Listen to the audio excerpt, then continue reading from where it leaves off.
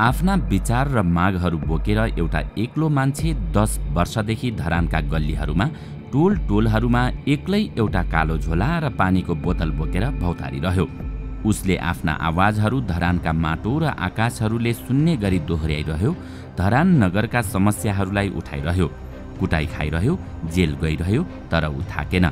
निर्वाचनका बेला अरू दलका नेता कार्यकर्ता लावा लस्कर हुन्थे उनीहरू मासु भात र रक्सीमा रमाइरहेका हुन्थे तर यी व्यक्ति एउटा टेम्पोमा हाते माइक र साउन्ड बक्स बोकेर धरानका गाउँ बस्तीहरूमा धरानका जल्दा बल्दा समस्याहरूबारे जनतालाई जगाउँदै हिँडिरहेका हुन्थे।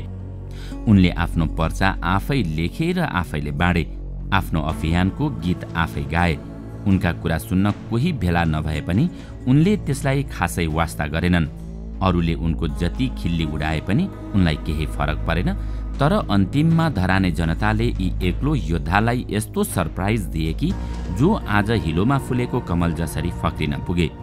दर्शकवृन्द आउनुहोस् आजको यस श्रृङ्खलामा हामी भर्खरै सम्पन्न दोस्रो स्थानीय तहको निर्वाचनमा निर्वाचित हर्क साम्पाङको बारेमा विशेष चर्चा गर्नेछौँ। त्यसो त हर्क साम्पाङको बारेमा केही भन्नु अघि आज हामी ल्याटिन अमेरिकी देश बोलिभियाको तेस्रो ठुलो सहर कोचबाम्बाको प्रसङ्ग जोड्नेछौँ जुन उस्तै मुद्दाहरू हुन्। कोचबाम्बा यो ल्याटिन अमेरिकी देश बोलिभियाको तेस्रो ठुलो सहर हो। यो सहरको जनसङ्ख्या करिब आठ लाख जति रहेको छ। त्यहाँ खानेपानीको ठूलो समस्या थियो। बोलिभिया सरकारले विश्व बैङ्कको सुझावमा सन् उन्नाइस सय सन्तानब्बेमा कोचबाम्बा नगर खानेपानी तथा ढल व्यवस्थापन सेवालाई निजीकरण गर्यो। विश्व बैङ्कले यसकारण खानेपानी सेवा निजीकरण गर्नको लागि पैरवी गरेको थियो कि उसका अनुसार सरकारसँग सो परियोजनाको लागि लगानी गर्न पर्याप्त पुँजी थिएन। अमेरिकी बहुराष्ट्रिय कम्पनी बेक्टेलको नेतृत्वमा रहेको अन्तर्राष्ट्रिय समूह अगुवाई डेल टुनारीले त्यसको जिम्मा पायो। त्यसका स्थानीय साझेदारको रूपमा चारवटा बोलिभियाई कम्पनी पनि थिए। यो कम्पनीले कोचबाम्बा सहरभन्दा पैँतिस किलोमिटर टाढा रहेको मिसिकुनी नदीमा बाँध बाँधेर बिस किलोमिटर लामो सुरुङ मार्फत कोचबाम्बा सहरमा पानी ल्याउने योजना बनाएको थियो। विश्व बैङ्क र अन्तर्राष्ट्रिय मुद्रा कोष जस्ता बहुपक्षीय संस्थाहरूको विचारमा पानी पनि अरू वस्तु झैँ आर्थिक वस्तु नै हो। तसर्थ पानीमा पूर्ण लागत फिर्ताको नीति लागू हुनुपर्छ।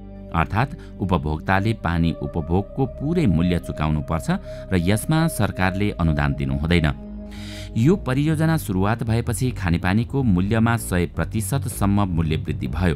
घरमा धारा नजोडेकाहरूले समेत खानेपानीको मूल्य तिर्नुपर्ने भयो। उनीहरूको तर्क यो थियो कि यो परियोजनाको अवधारणा अनुसार ती परिवारले पनि निकट भविष्यमा सेवा पाउनेवाला थिए। त्यसपछि आकाशबाट परेको पानी सङ्कलन गर्न र इनारको पानी झिक्न समेत लाइसेन्स लिनुपर्ने प्रावधान लागू गरियो जसका कारण त्यहाँका आम जनताको आक्रोश बढ्दै जान थाल्यो। सन् दुई हजारको जनवरीदेखि कोचबाम्बाका आम जनताले यो परियोजनाको विरुद्धमा सङ्घर्ष गर्न सुरु गरे जुन कोचबाम्बाको पानी युद्धका नामले प्रख्यात छ। ओस्कार ओलिभिएरा नामक मजदुर नेताको नेतृत्वमा समिति बनेर सङ्घर्ष सुरु भएको थियो। जुन सङ्घर्षमा मजदुर किसान विद्यार्थी र समाजका सबै तह र तबकाको सहभागिता रहेको थियो। यो आन्दोलनको प्रमुख निशाना बोलिभिया सरकार र अमेरिकी बहुराष्ट्रिय कम्पनी बेक्टेल रहेको थियो। आन्दोलन कैयौँ चरणमा अघि बढ्यो। एक महिनापछि कोचबाम्बा सहरलाई प्रदर्शनकारीहरूले पुरै कब्जामा लिए त्यसपछि बल्ल सरकारले जनताको आवाज सुन्यो र मूल्य वृद्धिको निर्णय फिर्ता लियो। यो सँगै सरकारले जनता सामु अरू धेरै बाचा पनि गर्यो तर बिस्तारै ती बाचाहरूलाई बिर्सिन थाल्यो। त्यसपछि फेरि मार्च महिनादेखि विद्रोह भड्कियो। आन्दोलनकारीहरूले कोचबाम्बा सहरमा खानेपानीको विषयलाई लिएर जनमत सङ्ग्रहको आह्वान गरे। जुन आन्दोलनमा पचासौँ हजार मानिसहरूले सहभागिता जनाए आन्दोलनका कार्यक्रमहरू क्रमशः उग्र बन्दै गए। जनताले सडकमा ब्यारिकेडहरू निर्माण गरेर मोर्चाबन्दी सुरु गरे। यसपटक सरकारले आन्दोलनकारीसँग वार्ता गर्नुको साटो दमनको नीति अपनायो। बोलिभियाई सेनालाई कोचबाम्बा सहर कब्जा गर्न पठायो। आन्दोलनले झन उग्र रूप लियो। आन्दोलनकारी नेताहरूलाई सरकारले गिरफ्तार गरेर केहीलाई त्यो सहरबाट टाढा लखेटिदियो तर आन्दोलन शान्त भएन। आन्दोलनको क्रममा एकजना आन्दोलनकारीको मृत्यु भयो भने दर्जनौ घाइते भए। कैयौँ दिनको रक्तपातपूर्ण सङ्घर्षपछि सरकार वार्ता गर्न सहमत भयो।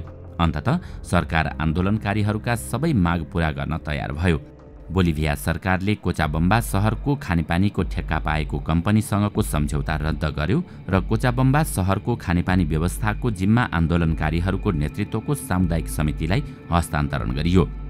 कोचाबम्बाको पानीको लडाईँ सहस्राब्दीकै पहिलो पानी युद्ध थियो जसले पानी कुनै विलासिताको वस्तु होइन यो अधिकार हो भन्ने कुरा साबित गर्यो।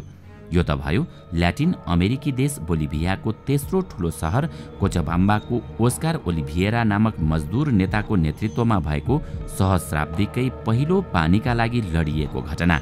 अब हामी यस्तै कथा बोकेको नेपालको पूर्वी सहर धरानको चर्चा गरौँ जहाँ लामो समयपछि एउटा योद्धाले युद्ध जितेका छन्। एक्लो योद्धा हर्क साम्पाङ पूर्वी नेपालको सहर धरानको अवस्था पनि बोलिभियाको कोचाबम्बाको अवस्थाभन्दा खासै फरक छैन। धरानमा खानेपानीको ठुलो हाहाकार छ।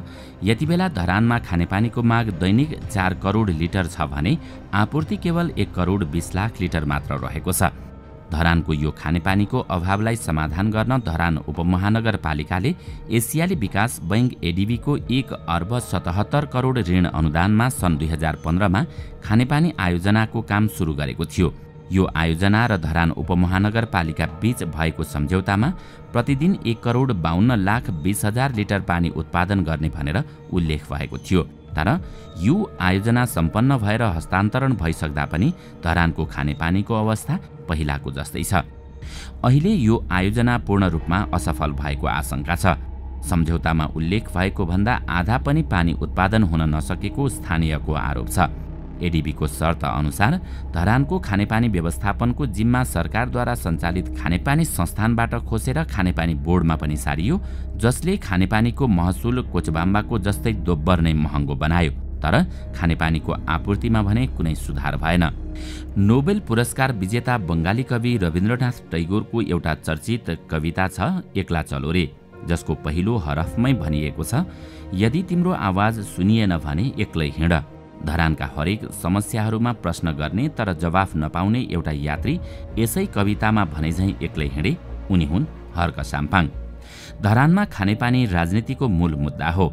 यो मुद्दालाई यहाँका राजनीतिक दलहरूले आफ्नो दुनो सोझ्याउन प्रयोग गर्ने गर्छन् तर सत्तामा पुग्ने बित्तिकै यो मुद्दा उनीहरूको प्राथमिकताको विषय रहँदैन। बरु धरानका प्राय सबै ठूला राजनीतिक दलहरू जनप्रतिनिधि र एडिबीको खानेपानी परियोजनाका कर्मचारीहरूका लागि यो परियोजना दुहनो गाई बनेको छ जसको विरुद्ध एक व्यक्तिले आवाज उठाए तर त्यो आवाज सुनुवाई भएन। त्यसैले हर्क साम्पाङ त्यहाँ भएको व्यथिति र परियोजनाको असफलताका बारेमा सुरुदेखि नै भण्डाफोर गर्दै आएका थिए। उनको आन्दोलन निरन्तर जारी रह्यो। जब एडिबीको खानेपानी परियोजना असफल भयो उनीहरू जसरी पनि यो परियोजनालाई हस्तान्तरण गर्न लागि परे त्यसबेला धरानको खानेपानीको एउटा मुहान रहेको सर्दु खोलाबाट आफ्नो प्लान्टतर्फ अनाधिकृत रूपमा लगेको पाइपलाई हर्क साम्पाङले खुस्काइदिए त्यसपछि हर्क साम्पाङलाई प्रहरीले गिरफ्तार गरी पटक पटक म्याद थप्दै थुनामा राख्यो। धरानको खानेपानीको समस्यालाई लिएर उनी काठमाडौँमा सम्बन्धित मन्त्रीलाई समेत भेट्न गए। मन्त्रीले भेट दिन समेत जरुरी ठानेनन् तर आफ्नो उद्देश्यमा अडिक साम्पाङले असफल भए पनि आन्दोलन जारी राखे। त्यस्तै हर्क साम्पाङले सर्दु खोलाबाट बालुवा गिटीको अत्यधिक दोहन रोक्न निगरानी गर्न खोजे। नियम अनुसार चार फिट मात्र खोलाको सतह खन्न अधिकार प्राप्त भएकोमा पन्ध्र बिस फिट खनेको पाएपछि त्यसलाई रोक्न खोज्दा गिटी बालुवा व्यवसायीहरूले उनी र उनको समूहमाथि आक्रमण समेत गर्यो उनको टाउको समेत फुटाइयो। घटनास्थलमा पुगेको प्रहरीले समेत ती तस्करहरूको पक्षमा लाग्दै उल्टै हर्क साम्पाङकै समूहलाई गिरफ्तार गर्यो। हर्क साम्पाङ एमसिसी विरुद्धको आन्दोलनमा पनि सुरुदेखि नै सरिक थिए। उनले आफ्ना सीमित सहयोगीहरूको साथमा एमसिसी विरुद्ध आन्दोलन जारी राखे। नियमित जस्तै जनताको चेतना जगाउन उनले राष्ट्रिय झण्डा बोकेर एमसिसी विरुद्ध धरानको मुख्य केन्द्र भानुचोकमा कोणसभा गरिरहे। अरू राजनैतिक पार्टीहरूले आफ्नो स्वार्थ अनुसार एमसिसी प्रतिको अडान फेरे तर हर्क साम्पाङ आफ्नो अडानमा अलिकति पनि विचलित बनेनन्। धरानमा रहेको बिपी कोइराला स्वास्थ्य विज्ञान प्रतिष्ठानमा रहेको विकृति र विसङ्गति विरुद्धको हर्क साम्पाङको अभियान निरन्तर जारी रह्यो। उनले बिपीको उपकुलपति विरुद्ध मात्र धरना जुलुस गरेनन् बरु सो प्रतिष्ठानको समग्र सुधारको लागि आन्दोलन गरे। उनको आन्दोलन अरू पार्टीको आन्दोलनभन्दा के अर्थमा पनि फरक थियो भने अरू पार्टीले सो प्रतिष्ठानमा आफू समर्थक उपकुलपति नियुक्त गराउने वा त्यसलाई हटाउने लक्ष्यका साथ काम गर्थे भने हर्क साम्पाङले धराने जनताले सहज रूपमा सुविधा पाउनुपर्ने माग राखे। आफ्ना विचार र मागहरू बोकेर एउटा एक्लो मान्छे दस वर्षदेखि धरानका गल्लीहरूमा टोल टोलहरूमा एक्लै एउटा कालो झोला र पानीको बोतल बोकेर भौतारिरह्यो। उसले आफ्ना आवाजहरू धरानका माटो र आकाशहरूले सुन्ने गरी दोहोऱ्याइरह्यो। धरान नगरका समस्याहरूलाई उठाइरह्यो कुटाई खाइरह्यो जेल गइरह्यो तर ऊ थाकेन। हर्क साम्पाङले एउटा टेम्पूमा हाते माइक र साउन्ड बक्स बोकेर धरानका गाउँ बस्तीहरूमा धरानका जल्दा बल्दा समस्याहरूबारे जनतालाई जगाउँदै हिँडे। आफ्नो पर्चा आफैले लेखे र आफै बाँडे। आफ्नो अभियानको गीत आफै गाए। उनका कुरा सुन्न कोही भेला नभए पनि उनलाई खासै फरक पर्दैन थियो। अरूले उनको जति खिल्ली उडाए पनि उनलाई केही फरक परेन। विक्रम सम्बत दुई हजार छयत्तर सालको उपनिर्वाचनमा उनी धरानको मेयरको चुनावमा उठेका थिए जसमा उनले मात्र चार सय बाइस मत पाए तर यसले हर्क साम्पाङलाई हतोत्साही बनाएन। उनी आफ्नो अभियानमा लागिरहे तीन वर्षपछि दुई हजार उना अस्सी सालमा फेरि अर्को स्थानीय निर्वाचन आयो त्यसमा पनि हर्क साम्पाङ उही चिर परिचित शैलीमा आफ्नो अभियानमा लागे। राजनीतिक दलका उम्मेद्वारहरूले तडक सहित सभा र र्याली गरे उनीहरूले रक्सीको खोलो बगाए मासु र भात महिनौसम्म बाँडे सबैका गाडी र मोटरसाइकलमा पेट्रोल भरिदिए तर हर्क साम्पाङको र्याली वा सभा भएन। उनी मेयरमा उम्मेदवारी दिएको खबर पुर्याउन एक्लै धरानका चोक गल्ली र घरका ढोका ढोकामा पुगे आफ्नै हातले पर्चा बाँडे उनीहरूको सेवक बन्ने बाचा गरे। नेपालको राष्ट्रिय झण्डा ओढेर हर्क साम्पाङ धरानका घर घर डुल्दै आफ्नो पर्चा पम्पलेट वितरण गरिरहेका भेटिन्थे। न उनीसँग ठुला ठुला आमसभा गर्ने साधन स्रोत नै थियो न क्षमता नै। धेरैले उनको यो कार्यशैलीको मजाक उडाइरहेका थिए। तिनै हर्क साम्पाङले नेपाली काङ्ग्रेस नेतृत्वको लोकतान्त्रिक वाम गठबन्धन र नेकपा एमालेलाई सहज रूपमा पराजित गर्दै धरान उपमहानगरपालिकाको मेयर पदमा निर्वाचित भएका छन् यो कुनै मामुली उपलब्धि होइन। धरानको निर्वाचन मूलत खानेपानीको मुद्दालाई लिएर लडिएको थियो। त्यसमा धरानका आम मान्छेको जित भएको छ तर यो जित पूर्ण छैन। हर्क साम्पाङले जुन सपना बोकेका छन् त्यो सहज छैन। हुन त हर्क साम्पाङले अहिले जुन सफलता हासिल गरेका छन् त्यो पनि लगभग असम्भव जस्तै नै थियो। भोलिका दिनमा आज असम्भव झै लाग्ने उनका सपना र योजनाहरू यसरी नै साकार बनुन्। हार्दिक शुभकामना धरानका एक्ला यात्री हर्क साम्पाङलाई। दर्शकवृन्द आजको श्रृङ्खला तपाईँलाई कस्तो लाग्यो? हामीलाई कमेन्टमा अवश्य बताउनुहोला। साथै आजको श्रृङ्खला तपाईँलाई राम्रो लाग्यो भने लाइक तथा सेयर गरी हाम्रो च्यानललाई सब्सक्राइब गर्न नभुल्नुहोला र साथमा रहेको बेल आइकन पनि थिच्नुहोस् ताकि हामीले अपलोड गर्ने नयाँ भिडियोको जानकारी सबैभन्दा पहिला तपाईँलाई प्राप्त होस्। आजका लागि यति नै। अर्को भिडियोमा अझै रोचक तथ्य लिएर आउने नै छौँ।